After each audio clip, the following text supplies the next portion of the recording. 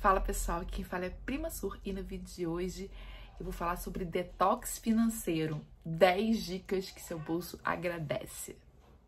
Primeiro, eu gostaria de agradecer a todos. Chegamos a 800 inscritos, acabamos de chegar em 800 inscritos. Estou muito feliz. É bem assim de tartaruga, mas fico animada com cada inscrito que entra. Então, se você curte esse canal, se você gosta, quer aqui de paraquedas, quer ver mais vídeos de finanças, inscreva-se, por favor, nesse canal, porque aí dá mais engajamento, mais gente assiste, mais gente vê, eu faço mais vídeos e vambora!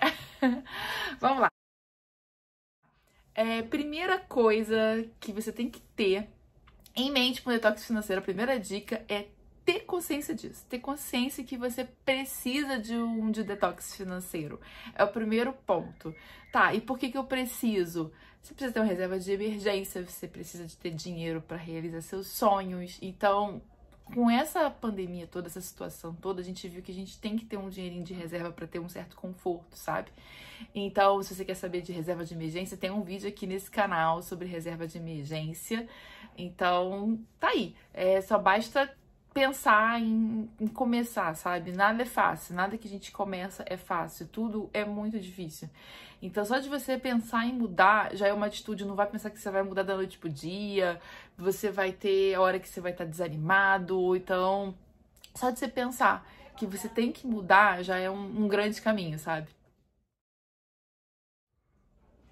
Segunda dica é anotar tudo. Se tem uma coisa que eu amo é lista. Tudo eu faço lista é, vídeo, tem lista, tem roteiro. Então, pro dinheiro também. Você tem que saber quanto tem lá. Não adianta, ah, eu vi outro dia aí. Você tem que anotar tudo, inclusive gastos do cartão de crédito. Se você não anotar e não controlar, como é que você vai saber se você tá indo bem ou mal? Você tem que economizar, enxugar ou não. Então, anote tudo.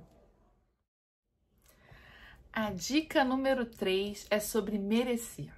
Ai, eu mereço, eu compro porque eu mereço, é o que a gente mais fala, né? Mas por que não guardar dinheiro para você se você não merece? Né? Separa um pedacinho, 10%, 5%, já é alguma coisa, né? Então pague-se primeiro, eu se merecer, sabe? Eu mereço, então eu mereço ter um dinheirinho guardado para mim, para fazer alguma coisa depois. Então esse é o ponto merece, mas não é, não pensa só em compra, pensa em você também, não está distribuindo seu dinheiro não, distribui um pouquinho para você também. Então, pensa no merecer nesse ponto, sabe? Dica número 4 é o tal do parcelamento sem juros. Quem nunca, né, gente? Quem nunca? Esse parcelamento sem juros é meio complicado, né? Você antes você tem que perguntar se a vista tem desconto. Porque se a vista tem desconto, ah, não tem parcelamento sem juros, não. Não tem mesmo. Você sempre tem que perguntar, tá? É, parcelar só vale a pena se a vista não der desconto e se você tem dinheiro já programado para pagar, tá? Porque senão não vale. Pague à vista. Ah, mas eu não tenho dinheiro. Tá, você vai esperar né? Igual aquele lance, ah, eu comprei o carro, mas se você comprou o carro parcelado, desculpa, amigo, o carro é da financeira, deixa eu te pagar uma parcela só pra você ver para quem que vai o carro, para quem que vai a casa. Então a gente tem esse costume de comprei um carro, na verdade você só comprou o carro quando você foi lá no Detran, pagou aquela taxinha para tirar aquele alienação fiduciária que vem lá no documentozinho do seu carro, tá? Vai achando que o carro é teu. Dica número 5 é o que eu chamo de mais do mesmo, né? A gente acaba comprando roupas até parecidas com a mesma função, que a gente iria nos mesmos lugares com as roupas. Não, não tô falando de minimalismo, tá? Eu longe disso, eu tenho muita roupa, muito sapato, mas assim, eu paro e penso, sabe? Eu preciso mais disso. Eu, eu tenho um determinado número de tênis. Pô, eu preciso de mais um. Esse tênis vai me agregar e usar para outra situação, sabe? Então, assim, cuidado. Roupa, sapato é um tanto quanto descartável, sabe? A gente compra e uh, enjoa fácil. Então a gente tem que ter cuidado. Né? Tem dicas, até tem uma amiga da Andara, a gente conversa muito sobre isso. Ela dá dicas de coloração, de roupas que a gente fala assim: hum, comprei, mas não é muito pra mim. De repente tem algum motivo, tá? Então, mais coisa menos coisas é o Instagram dela Então dá uma olhada nisso aí. Nem sempre é, a gente compra, acha, é, tudo serve pra gente, sabe? Então a gente tem que dar uma repensada nisso aí. Não é nunca deixar de comprar. Tem um vídeo aqui no canal falando sobre isso, tá? Então reveja um pouquinho os seus conceitos. Por falar em rever conceitos, vamos aí para dica 6, que é rever consumos. É, o meu calcanhar de Aquiles, quem conhece meu canal, é Melissa, tá? É, eu tenho muita Melissa, tenho muita bolsa da Melissa, muita coisa da Melissa. Sim, eu sei, sim, eu sei que é muito, que é abuso, mas eu tento me controlar num, num, sistema que eu montei, sabe? Se eu vejo que eu tenho muita, eu paro e não compro. Nessa quarentena, eu só comprei uma melissa, porque eu ganhei cupom de desconto. Vocês viram aqui o vídeo de recebidos. E ela tava com desconto também. E uh, eu só me permito comprar uma melissa se eu desapegar outra, sabe? E eu não estou comprando porque eu não estou conseguindo desapegar por conta da pandemia. Minha lojinha do Enjoei, infelizmente, está pausada. Mas eu vendi muita coisa por lá, já vendi mais de 3 mil reais nesse tempo que eu tenho a lojinha do, do Enjoei.